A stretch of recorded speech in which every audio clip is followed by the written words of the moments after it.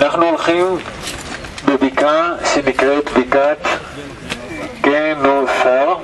תכף נראה, הרי גנוסר, אין לנו מקורות עבריים שמספרים על בקעת גנוסר, אלא היא נזכרת בברית החדשה ואצל יוספוס שניהם מקורות יווניים, ולכן עדיין יש חילוקי שנראה, אני מקבל את התיאוריה החדשה של לאחרונה, המתרגמת של יוספוס בגרסה החדשה אומרת שצריך להגיד גני שר, ככה היא מנקדת את המילה הזאת.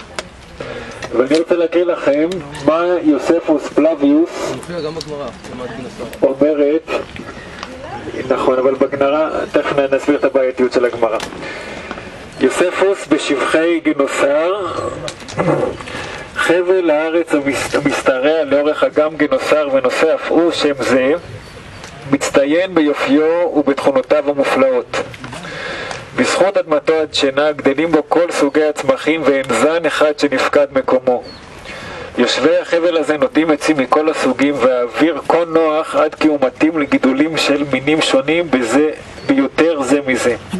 עצי אגוז שיהיה להם קור חורפי גדלים כאן בשפע לצד עצי תמר המשגשגים בחום הלוהט ובסמיכות להם עצי תאנה וזית שדרוש להם מזג אוויר מתון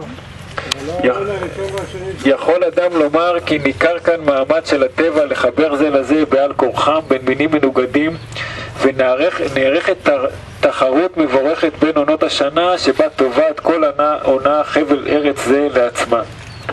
לא זה בלבד שגדלים בו פירות שונים זה מזה עד להפתיע, אלא גם משך תנובתם ארוך מן הרגיל, ופה שימו לב איזה הגזמה. הגפן והתאנה, מלכות הפרי, נותנות את פריין עשרה חודשים רצופים בשנה. אני, בכוונה הקראתי את זה לא ליד יובל, כדי שהוא לא, לא יסתור את יוספוס, לא נעים. שאר הפירות מבשילים כסדרם כל ימות השנה. נוסף על מזג האוויר הנוח, משקה מעיין איתן את אדמת החבל ומעניק לו את פוריותו. בפי יושבי החבל נקרא מעיין כפר נחום, היו שסברו כי מעיין זה הוא זרוע של הנילוס שכן גדלים בו דגים הדומים לעורב המצויים באגם שליד אלכסנדריה. הקראתי לכם את הסוף שמדבר על אה, מעיין כפר נחום וזה בכלל מעניין. איפה נמצא מעיין כפר נחום? מעבר לתל כינורות. אבל אה, יוספוס בדברים האלה אה, מדייק ובאמת מצאו אמת מים שמוליכה מבקעת טבחה, שבקעת טבחה היא טריטוריאלית שייכת לכפר נחום, לתוך אה, בקעת אה, גנוסר. עכשיו יוספוס הוא סופר בחסד, ומה שהוא כותב פה בשבחי גנוסר זה אה, הקדמה לפרק אולי הכי קשה, אחד הפרקים הכי קשים, הסיפורים הכי קשים של יוספוס, וזה הטבח במגדל שעליו שמענו בתצוגה על הסירה. אה, על אגם גנוסר, טוב, על אגם גנוסר כבר נקריא, שנהיה בתל כינר. אה, אני רק אתקשר לסואיל ויש לנו הליכה של חמש דקות אז לא להתפזר ואני כבר עכשיו יקדים וייתן את ההוראות לאתר ספיר, זה אתר ביטחוני שאנחנו נכנסים אליו באישור מאוד מאוד מאוד מיוחד. יפגוש אותנו בחוי השומר, קוראים לו סואיל אנחנו חייבים להיות דבוקה אחת, אף אחד לא מתפזר לשום מקום כי זה ממש, הם לא ייתנו לנו יותר להיכנס ואנחנו אה, ביחד תבוקה אחת ונשמעים להוראות של אה, סוויל. אז אה, מעכשיו ככה יש לנו...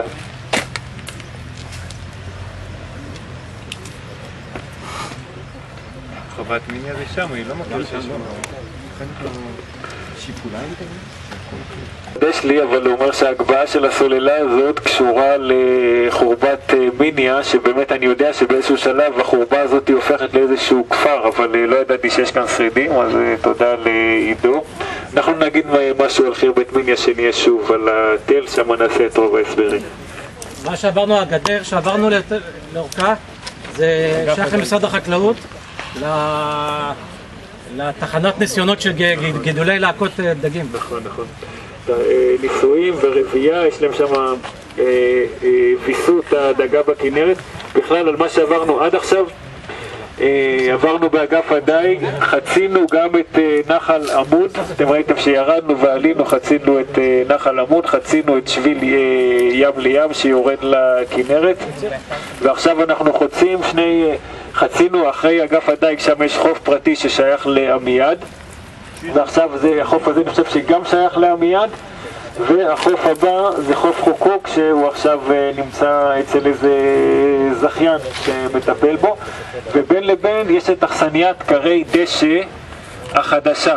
וכשאנחנו נגיע לפילגר האוס אז נסביר למה היא נקראת אכסניית קרי דשא החדשה המתכנן שלה, בכל מקרה אה, אדריכל בשם אבישי טאו מכורזים, עשה שם עבודה נהדרת, אה, עבודת אה, באמת אה, אכסניה יפהפייה, אז שווה להעיף אה, מבט שאנחנו עוברים שם. אני רק רוצה להגיד משהו, אפשר שנייה?